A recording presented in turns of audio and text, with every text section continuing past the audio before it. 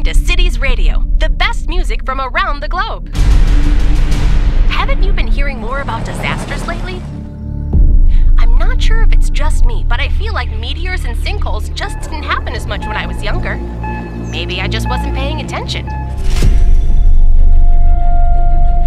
One time, the street behind my house just disappeared. The Forest Service has stated that there is a risk of an imminent forest Meteorologists are issuing a thunderstorm warning. There